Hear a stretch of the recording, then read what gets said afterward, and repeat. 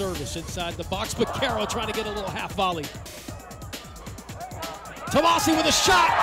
Just off. What a great save, though, by Hubbard. He had a nice look.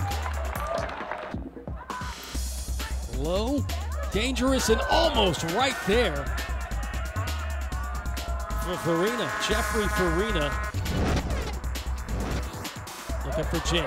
Jim, nicely played ball. Hayes right outside of the 18, cuts in looking for Greenspo's going to keep it himself. Here comes Hayes. Hayes with the 18. Ariel's inside the 18 and scores a bender into the side net.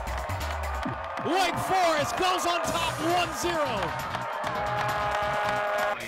And the Deacs with a beautiful goal by Jacori Hayes in the 75th minute get the win